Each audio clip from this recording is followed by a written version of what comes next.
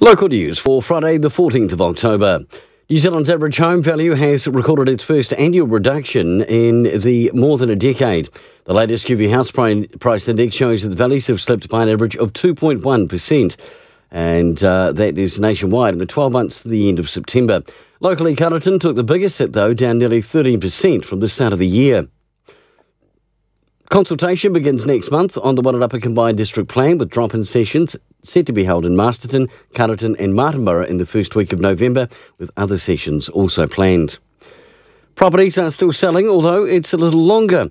Uh, September shows median sales in Masterton were 539,000 with 39 sales, Carterton 712,000 with 9 sales, and South Wairarapa 700,000 with 12 sales.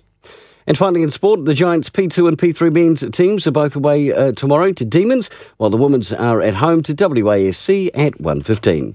For local news and sport, kia ora, I'm Brent Gare.